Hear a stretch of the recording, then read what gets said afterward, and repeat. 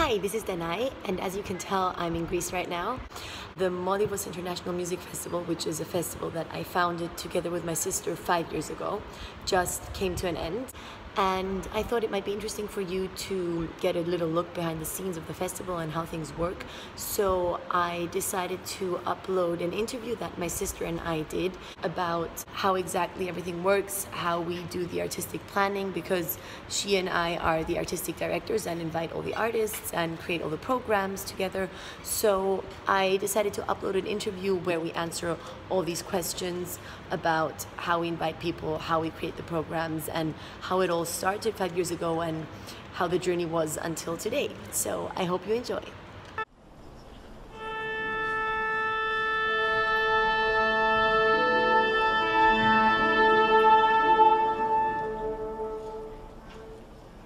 So when we started the festival, it was all basically just a try in the beginning. So we did everything by ourselves. We didn't have a big team. We had a couple of volunteers that were helping us, and we invited our friends and just hoped that it would be a nice summer. And then, quite unexpectedly to us, actually, it grew very quickly, and our team became much bigger. We started really focusing on the artistic side of things and many other people also came into this group of people and now we're at a point five years later where our musician friends come here regularly and many even ask us to come to Molyvos, which for us is of course amazing because we want to bring all the amazing people out there here and show them this place and make music together. So it really is a big joy for us where this festival has come in those five years. And I think another thing that we really, really love and that we're so proud of is that when we started the festival, definitely one of our dreams and goals and motivations was that the place, Molyvos, that we loved so much because we had been coming here every summer since we were babies and little children and had, had wonderful memories at the castle. And we had this dream to connect that with the other love of our lives, which was music and performing and, and then playing chamber music together with our other musician friends. And to bring this art form that we loved to this place. And from the first year, it was really so wonderful to see how the um, people of Molyvos embraced the festival and loved coming to the concerts and were so happy to be able to, to, to, witness these things. That of course we sort of had witnessed for a very long time when we were from in Germany. And um, that for us of course is very touching. After a concert to see someone coming up to you and saying thank you.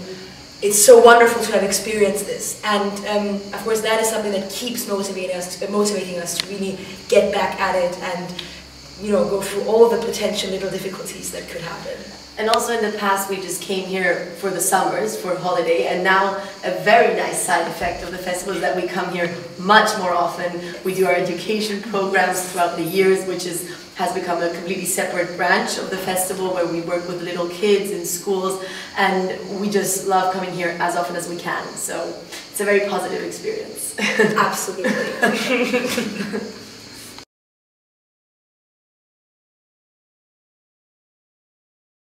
Yeah, so I think that when you have a festival, the festival kind of is its musicians and the musicians that are there, especially a chamber music festival like the one that we do here where we don't have finished programs or ensembles that come and play, but we all meet here for an incredibly intense week.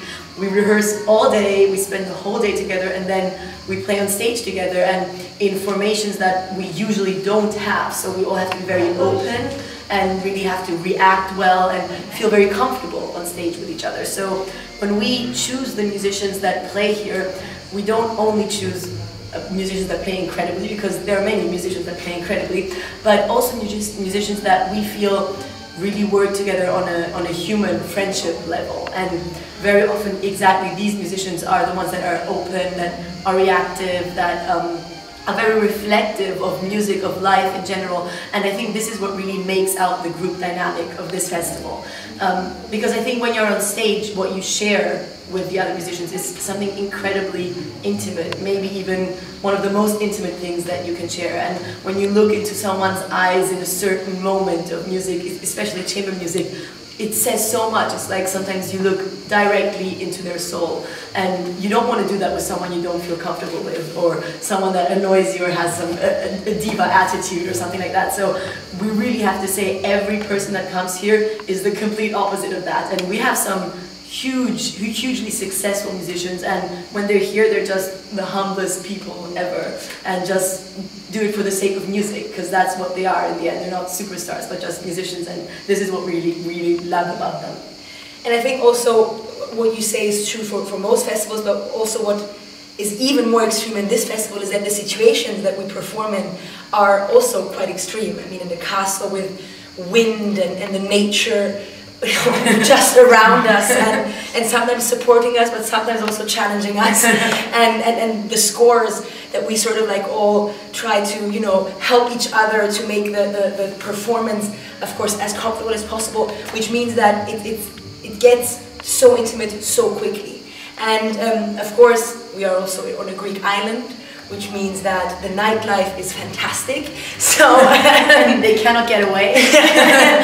and therefore, there is that component as well. I mean, we eat twice a day copious amounts of incredible food, and then we go dancing together in yeah, the go to the beach, yeah. and we, we connect on so many levels. So even the, the musicians that we invite, that maybe we invite on recommendations, um, after like day number two, they're completely part of the of the core family. It was so funny. After I think the second festival, we developed this um, WhatsApp group called the German Der harte Molyvos Kern, which is like the, the Molyvos core, which were like just so many people of the festival that also stayed afterwards for holidays and everything. So I think the reason why it's so much more that sentiment of family is because everything that we experience here brings us to the extremes of any possible direction you can imagine.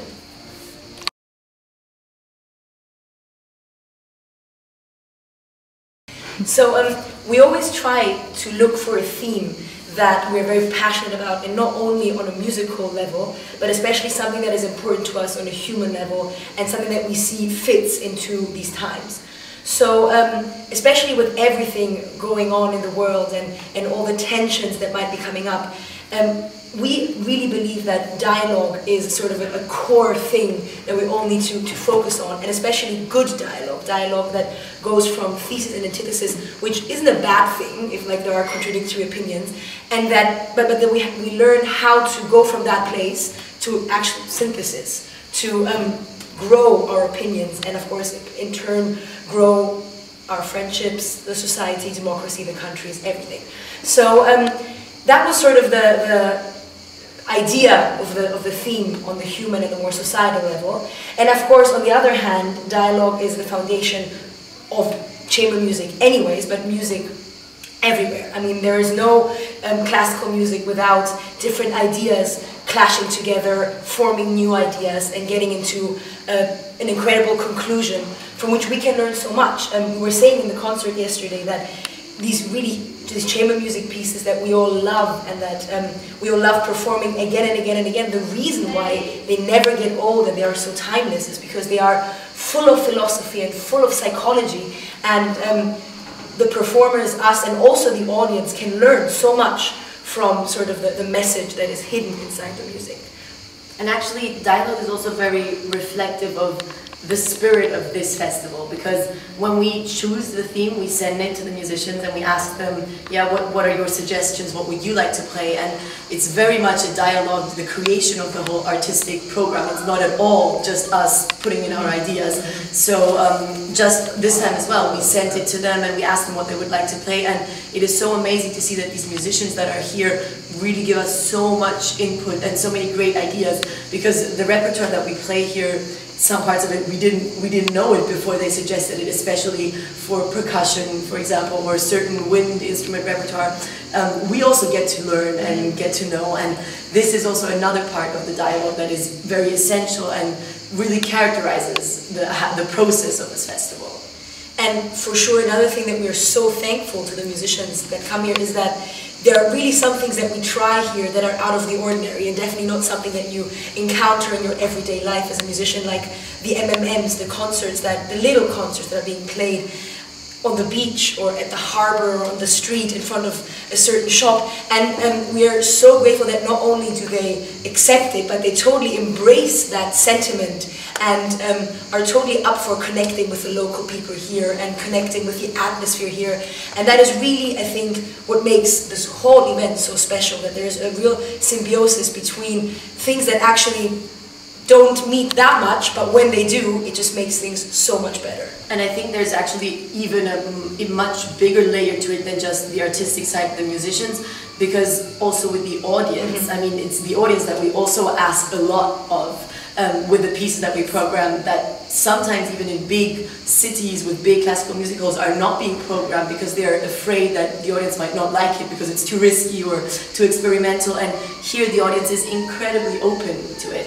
So um, it's not only the musicians that we go into a dialogue with but we enter a dialogue with the audience with this entire place. And I think it's what one has to think about is when a composer writes a piece he first goes into his little internal dialogue and writes out the piece of music, then the, the person that plays the interpretation, so the, us, the musicians, come and have our own little form of dialogue. And then the audience is the next component and changes the piece again because the piece changes from performance to performance. So it really is dialogue on every level. And I think that that is also um, why we think that music is such an art in general, is such a good avenue to get into a dialogue for more difficult um, subjects that maybe don't have to do anything with art. Because in a way, what I always think is if it makes so much sense in music to see that things that shouldn't fit together do, they can fit together if you put the emotional effort into it, then it works in other levels as well.